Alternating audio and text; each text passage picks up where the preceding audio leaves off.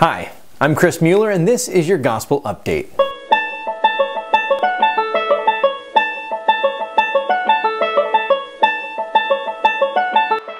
Are you a disciple or just in the crowd? In Matthew chapter 5 verses 1 through 12, we have the beginning on the Sermon on the Mount, and it says a large crowd of people had come to see Jesus. Now, we know from other parts of the gospel that the crowds that follow Jesus could get upwards of 10,000 people. I know, your Bible has a heading that says the feeding of the 5,000, but read the section.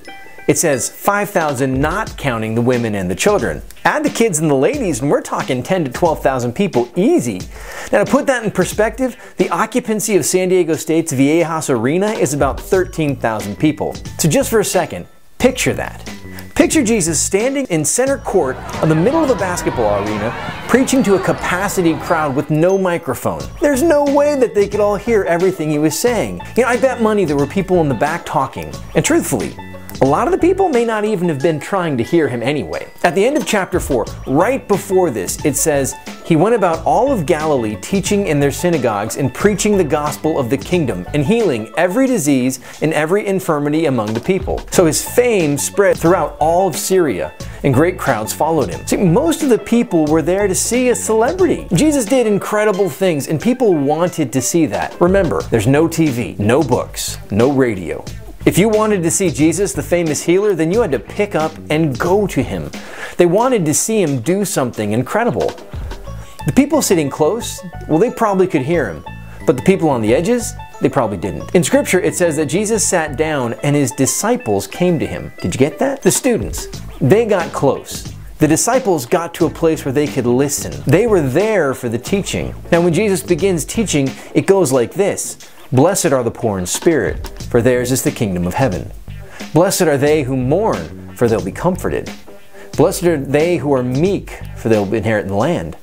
Blessed are they who hunger and thirst for righteousness, for they will be satisfied. Blessed are the merciful, for they will be shown mercy.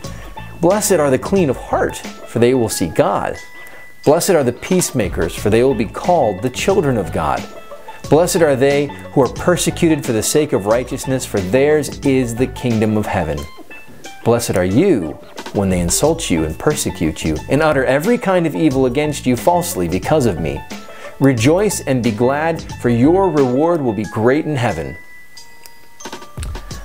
By today's standards, it's not a great talk. Think about it. No jokes, no self deprecating comments, no story from his life used as a colorful illustration. Jesus just launches in and he doesn't even really go into detail. He does not connect the dots at all. It's almost like he wants us to have to sit with it and pray on it to figure out what he's talking about. Oh, wait, that might be what he wants. You know what? The crowds probably left the Sermon on the Mount a little disappointed. All Jesus did was talk. But the disciples, well, we know that their life was changed. The thing is, maybe God isn't as concerned with entertaining us as we are concerned with being entertained. Maybe God wants us to be challenged more than He wants us to be comforted. Maybe God wants to talk to the people who want to listen. The teaching of the Beatitudes are revolutionary. Jesus turns the accepted order on its head, but before you can hear it, you have to ask yourself do I want to hear what God has to say? Or am I looking for a show?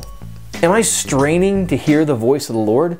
Am I pushing through the crowd to be near Him? Or am I sitting in the back, waiting to be entertained? A good gauge is to look at the way you're coming to Mass. Are you expecting to be taught something challenging? Are you ready to fight to find meaning in what you hear? Or are you sitting in the pew with an entertain me attitude? Are you a disciple? Or are you just part of the crowd?